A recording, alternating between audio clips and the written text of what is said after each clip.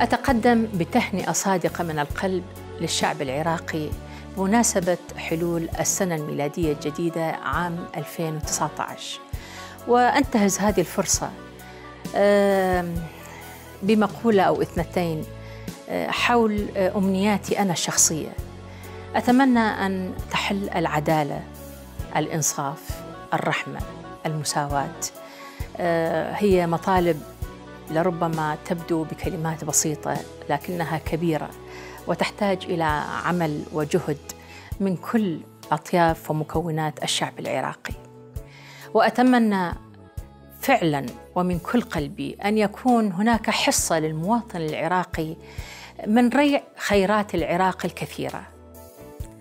ومن هنا من قناة الشرقية أتقدم بشكري لقناة الشرقية لأنها تتابع مبدعيها وتتابع مثقفيها وتحاول دائما تسليط الضوء على من له رغبة صادقة في أن يوصل كلمته إلى الشعب العراقي.